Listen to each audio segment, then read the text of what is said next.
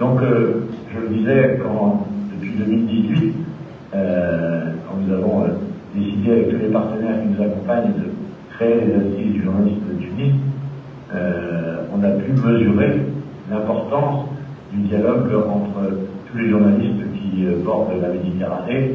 Ce, dialogue est essentiel, il est compliqué parfois, il est empreint d'incompréhension, il est de colère également parfois quand euh, notamment l'actualité internationale est insoutenable avec euh, la guerre à, Gaza.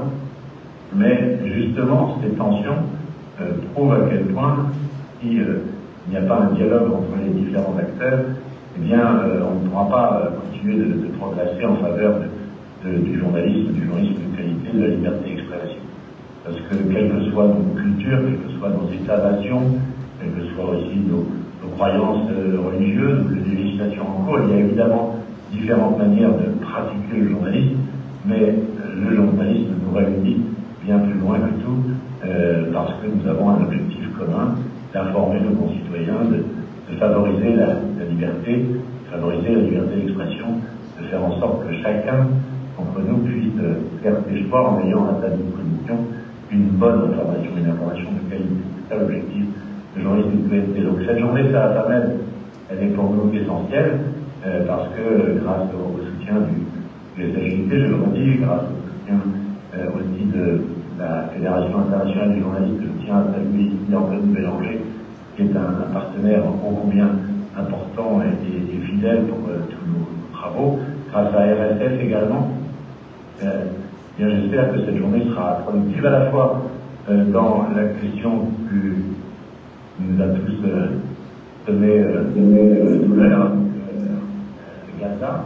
je veux rappeler ici que la Fédération internationale des journalistes, par sa, présidente, de travailler et avec Christophe Deloire, dont je veux ici saluer la mémoire, qui, est décédé depuis, le directeur de Reporters sans frontières, eh bien, nous avions lancé un appel commun le 7 février dernier à la prison Cité du Monde Arabe à, à Paris euh, pour que cesse le massacre des journalistes à Gaza.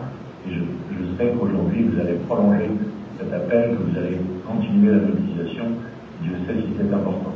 Et puis le deuxième sujet, c'est évidemment l'avenir du journalisme en, en, Tunisie. Vous êtes mieux placé que quiconque pour le définir à un mois d'une élection présidentielle qui euh, suscite beaucoup d'interrogations. Euh, donc j'espère de tout cœur que ce moment d'échange et, et, de solidarité entre les journalistes de la Méditerranée nous permettra d'avancer. Euh, je ne vais pas être plus long et vous tiens encore une fois à m'excuser auprès de vous, euh, vous dire à quel point je suis heureux de voir que vous êtes nombreux et nombreux autour de cette table, saluer tous les consoeurs et, les confrères de Tunisie qui œuvrent pour ce beau pays. Et, et vous dire qu'on vous donne rendez-vous évidemment dans d'autres lieux à, Bruxelles en, novembre, si vous pouvez, à, Tours au printemps, aux assises de Tours, et puis peut-être, si la situation hein, le permet, euh, à Beyrouth, espérons monter un, un rendez-vous important en janvier prochain, et où on sera évidemment content de pouvoir vous accueillir si vous le voulez. Euh, je ne serai pas plus long, merci à vous tous et à vous tous, et je vous souhaite une très belle journée à Famed en faveur du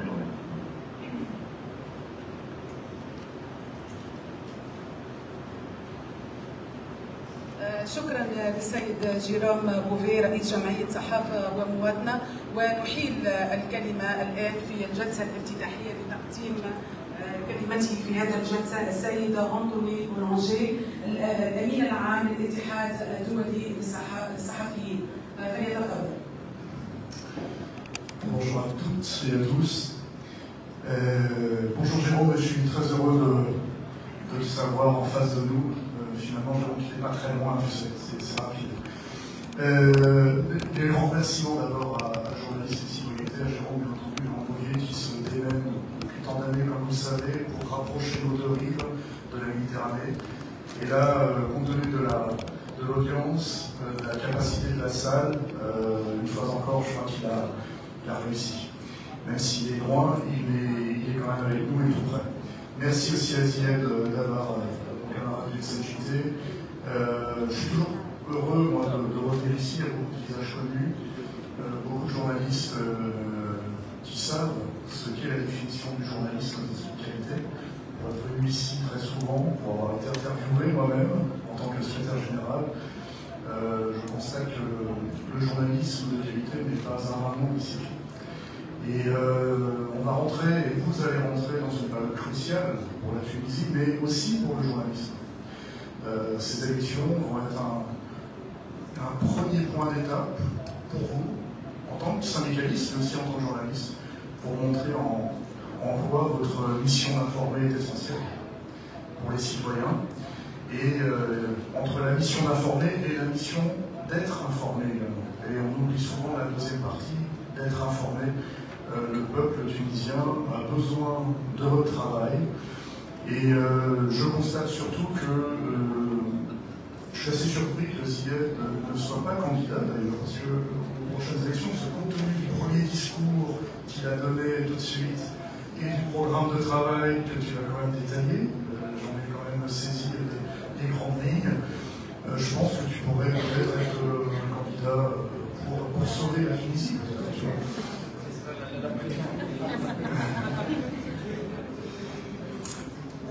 Sérieusement, cette, journée est essentielle. Le journalisme de qualité, bien entendu, et on, aura une, très belle séquence tout à l'heure sur la Tunisie.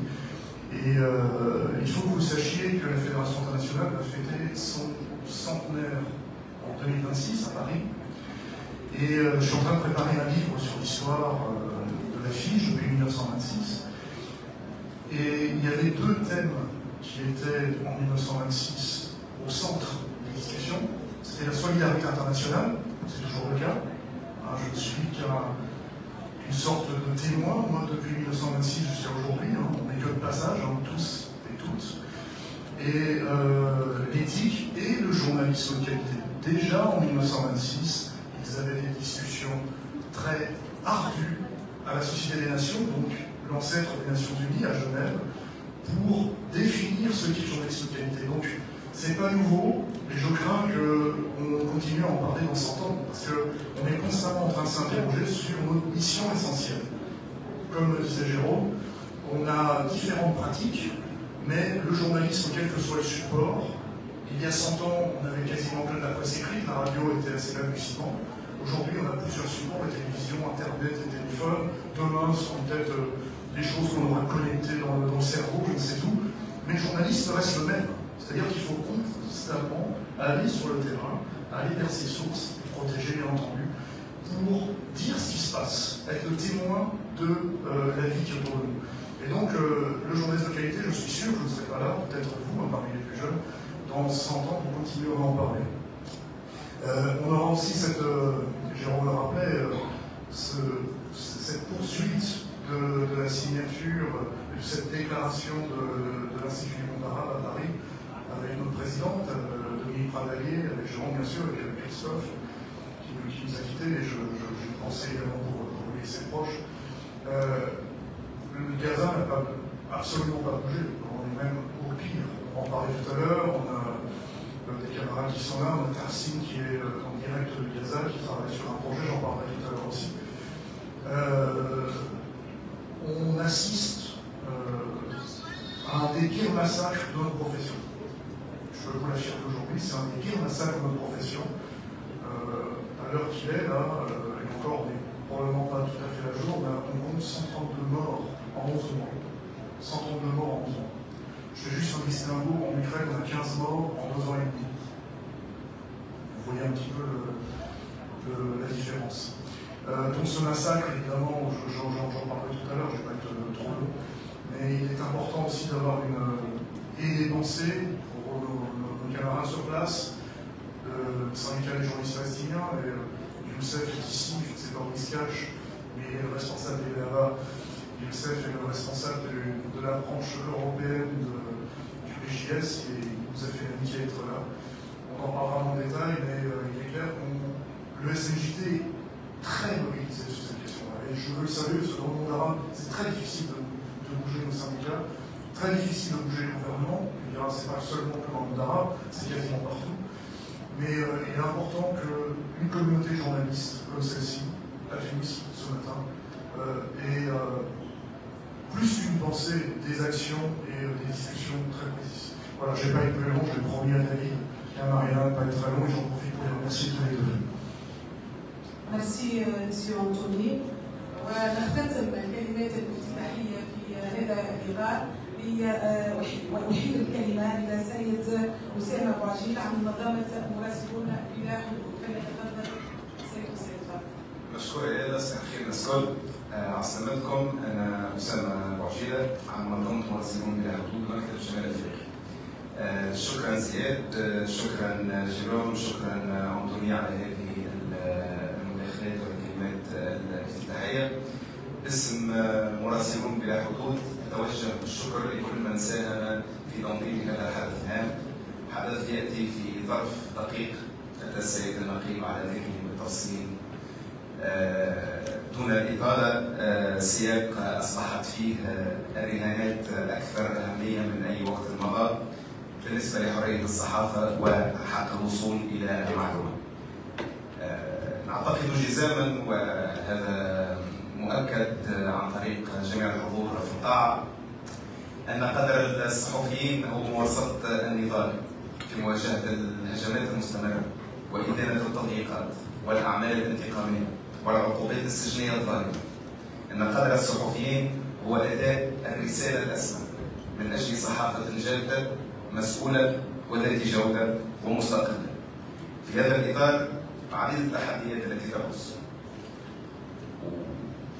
لنقل أن دور الصحافة اليوم في تونس وما هو المنتظر منها خاصة عن طريق الجمهور وعن طريق عموم المواطنين هو أن تؤدي إلى إيصال أصوات المظلومين وعدم الخوض في التشكيكات المتعلقة بالحقيقة. وهذا كله بطبيعة الحال مثل ما أكد المتدخلون. وسط سياق للأسف يسوده التضليل الإعلامي وتسوده المعلومات المخلوطة في هذا المكان بالتحديد كان من الممكن أن يحضر الصديق والزميل كريستوف دلوار الذي فارقنا عليه رحمة الله. وكان أيضا من المفروض أن يؤدي هذه الكلمة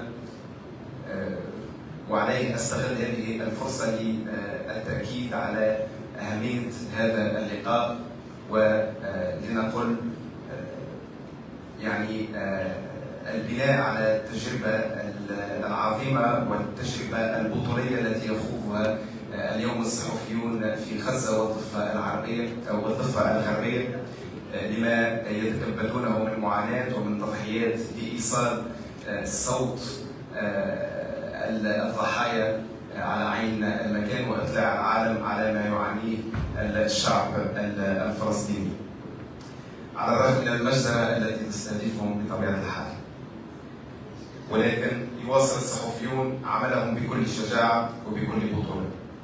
شرف لي أن ألقاكم باسم منظمة مراسلون بلا حدود أتمنى لكم لقاء طيبا وورشة مثمرة إن شاء الله مع الشكر.